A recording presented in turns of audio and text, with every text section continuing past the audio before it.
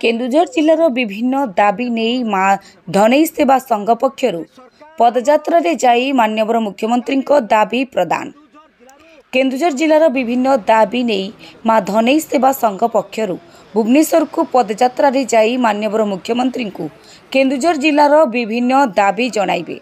ସୂଚନା ମୁତାବକ ଗାନ୍ଧୀ ଜୟନ୍ତୀଠାରୁ ମା ଧନେଇ ସେବା ସଂଘ ଭୁବନେଶ୍ୱର ଅଭିମୁଖେ ପଦଯାତ୍ରା ଆରମ୍ଭ ହୋଇଛି।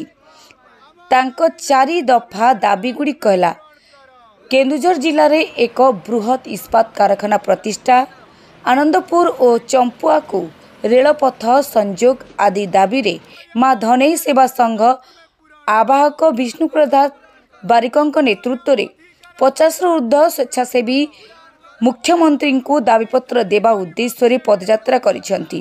ଆଜି ସଂଗଠନ ପକ୍ଷରୁ ଆନନ୍ଦପୁର ନିକଟସ୍ଥ ବାରିଗାଁ ନିକଟରୁ ପଦଯାତ୍ରା ବାହାରି କୋରେଇ ବ୍ଲକ ନିକଟସ୍ଥ ସ୍ୱତି ନିକଟରେ ଚାଲି ଚାଲି ପହଞ୍ଚିଛନ୍ତି ସୂଚନା ମୁତାବକ ଆସନ୍ତା ଆଠ ତାରିଖରେ ଭୁବନେଶ୍ୱରରେ ପହଞ୍ଚିବାର କାର୍ଯ୍ୟକ୍ରମ ଥିବା ସଂଘର ଆବାହକ ଶ୍ରୀ ବାରିକ ସୂଚନା ଦେଇଛନ୍ତି।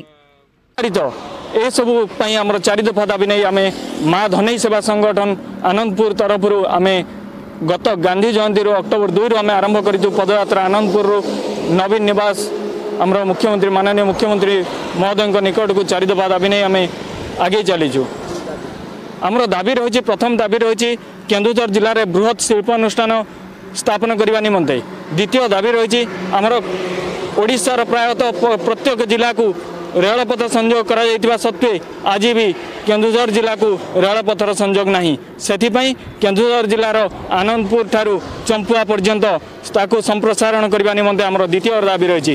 ତୃତୀୟ ଦାବି ରହିଛି କେନ୍ଦୁଝର ଜିଲ୍ଲାର ପାଣିକୋଇଲି ଠାରୁ ରାଜାମୁଣ୍ଡା ପର୍ଯ୍ୟନ୍ତ ବିଗତ ଦିନରେ ଦୁଇଶହ ପନ୍ଦର ନମ୍ବର ରାଜ୍ୟ ରାଜପଥ ବୋଲାଉଥିବା ଆଜି କୋଡ଼ିଏ ନମ୍ବର ରାଜ୍ୟ ରାଜପଥ ଯାହାକୁ କି ରାଜ୍ୟ ସରକାର ଅଧା ପନ୍ତରିଆ ଭାବରେ ଠିକାଦାର ଦେ- ଦେଇଥିବା ଠିକାଦାରକୁ ଅଧା ପନ୍ତରିଆ ଭାବରେ ପକାଇ ସେ ଚାଲିଯାଇଛି ଯାହାଫଳରେ ଦୈନନ୍ଦିନ ଜୀବନରେ ସେ ରାସ୍ତା ଆଜି ମରଣଜନ୍ତା ପାଲଟି ପାଲଟିଛି ଆମର ଦାବି ରହିଛି ସେ ରାସ୍ତାକୁ ତୁରନ୍ତ ଶେଷ କରିବା ନିମନ୍ତେ ଏବଂ ଶତାଦିନ ପର୍ଯ୍ୟନ୍ତ ଆମର ଟୋଲକୁ ନିଃଶୁଳ୍କ କରିବା ପାଇଁ।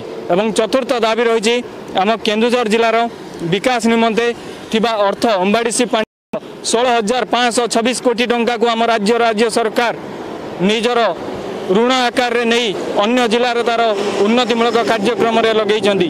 କିନ୍ତୁ ଆମର ଦାବି ରହିଛି ସେ ଅର୍ଥକୁ ତୁରନ୍ତ ଫେରସ୍ତ କରାଯାଉ କେନ୍ଦୁଝର ଜିଲ୍ଲାକୁ ଏବଂ କେନ୍ଦୁଝର ଜିଲ୍ଲାର ଉନ୍ନତିମୂଳକ କାର୍ଯ୍ୟକ୍ରମରେ ତାକୁ ନିୟୋଜିତ କରାଯାଉ ନିବେଶ କରାଯାଉ ଯଦି ଆଗାମୀ ଦିନରେ ସେ ଆମର ଦାବିକୁ ଗ୍ରହଣ ନ କରନ୍ତି ବା କାର୍ଯ୍ୟାନୁଷ୍ଠାନ ଗ୍ରହଣ ନ କରନ୍ତି ତେବେ ଆମେ ଆଗାମୀ ଦିନରେ ଏହା ଖାଲି ଆନନ୍ଦପୁର ନୁହେଁ ସାରା ଜିଲ୍ଲାର କୋଣ ଅନୁକୋଣରେ ଆବାଳ ବୃଦ୍ଧ ବନିତା ସମସ୍ତଙ୍କ ଠାରୁ ଆମେ ଗୋଟେ ନୂତନ ସ୍ୱର ଆରମ୍ଭ କରିବୁ ଯାହା ହେବ ନୂଆ ଏକ ମହାସଂଗ୍ରାମ। ଏହି ଶୋଭାଯାତ୍ରା ଯେଉଁ ପଦଯାତ୍ରା କେଉଁଝର ମା ଧନୀ ସେବା ସଂଘରୁ ଆରମ୍ଭ ହୋଇ ରାଜ୍ୟର ମୁଖ୍ୟମନ୍ତ୍ରୀ ନବୀନ ନିବାସ ପର୍ଯ୍ୟନ୍ତ ଯିବ ପୁରା ଇଏ ଦେଢ଼ଶହ କିଲୋମିଟର। ତାପରେ ଆମ ଯେଉଁ ଚାରିଟା ଦାବି ରହିଛି ମୁଖ୍ୟତଃ ଯେଉଁ କେଉଁଝର ଜିଲ୍ଲାରେ ଏକ ବୃହତ ଇସ୍ପାତ କାରଖାନା ଦାବି ଦ୍ୱିତୀୟରେ ହେଲା କେଉଁଝର ଜିଲ୍ଲାର ଚମ୍ପୁଆ ଉପଖଣ୍ଡ ଆଉ ଆନନ୍ଦ ଉପଖଣ୍ଡକୁ ରେଳ ପ୍ରତ୍ୟେକ ସଂଯୋଗ ଦାବି ତୃତୀୟରେ ହେଉଛି ଆମର ଯେଉଁ କୋଡ଼ିଏ ନମ୍ବର ଜାତୀୟ ରାଜପଥ ଅଂଶପୂର୍ଣ୍ଣ କାମ ପୁରା ସମ୍ପୂର୍ଣ୍ଣ ହେଉ। ଚତୁର୍ଥରେ ହେଲା ଆମର କେଉଁଝର ଜିଲ୍ଲାର ବିକାଶ ପାଇଁ ଯେଉଁ ଷୋହଳ ହଜାର ପାଞ୍ଚଶହ ଛବିଶ କୋଟି ଟଙ୍କା ରାଜ୍ୟ ସରକାର ଋଣ ଆକାର ନେଇଛନ୍ତି ତା ତୁରନ୍ତ ଫେରସ୍ତ ହେଉ ଯେ ଫେରସ୍ତ ହେଇ ଜିଲ୍ଲାର ବିକାଶ କାମରେ ଲଗାଯାଉ। ଏ ରାସ୍ତା ଅବରୋଧ କରାଯାଇଥିବ ଯିବା ସହିତ। ଟ୍ରେନରେ ଆଉ ଟ୍ରକରେ ଗୋଟେ ବୋଲି ଇଞ୍ଚେ ବି ଲୁହାପଥର